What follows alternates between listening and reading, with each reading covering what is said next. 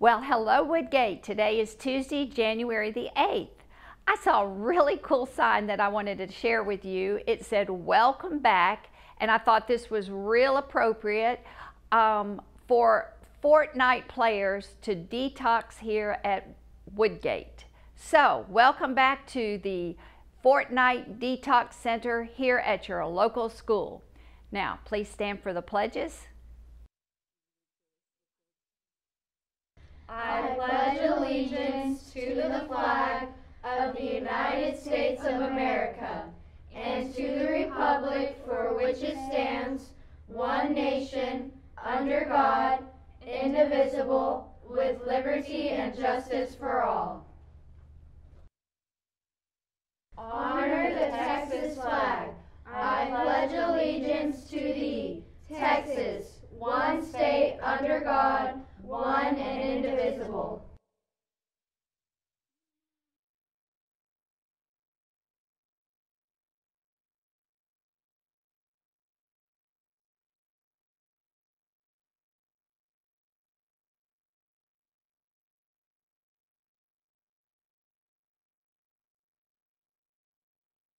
Well, first on the announcements today, have you gotten your art t-shirt? There is still time to turn in your form to Miss Bernard or Mrs. Abercrombie. So if you are interested in an art t-shirt, get on that.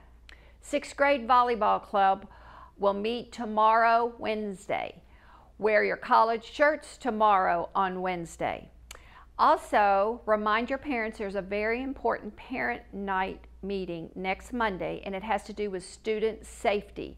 If they want to know more about that, check the website. It'll give you specific information on what will be discussed. That's next Monday for parents. Now for library info, uh, we're starting a new year. Most all, I'd say about 99% of you turned your books in before the break. Some of you still have books out or oh fines. Guys, come talk to me and let's work out something. Don't be afraid that I'm going to jump all over you. We need to get this settled. We need to find these books and take care of fines. So come see me when your class comes through the library this week. Also, be ready now for our Tuesday book talk. My name is Liz Red, and my book is Love That Dog by Sharon Creech. Uh, what's it about? It's um about a boy named Jack. He is writing poetry, kind of like in a diary, but with poetry. And he, and he includes poetry from famous poets.